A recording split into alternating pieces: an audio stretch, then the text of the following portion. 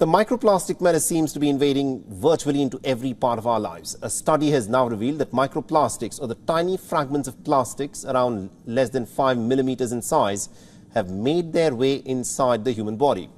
From the tallest of mountains to the deepest of oceans, the tiny pieces of plastic are now found pretty much everywhere. More alarmingly, the study has also revealed their presence in the human brain as well.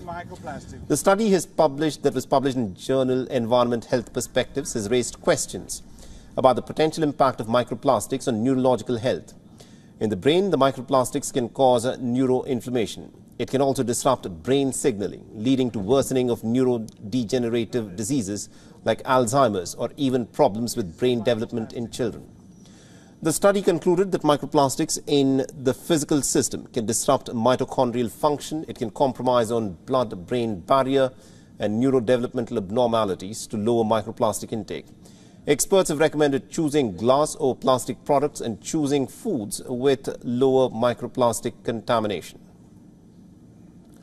Now, according to the study, authors ingested microplastics spread from the gut to the brain, liver and kidneys. Microplastics can enter into our body even through skin contact, inhalation and ingestion of infected food. The study was conducted on mice that were exposed to different amounts of microplastics through oral gastric feeding.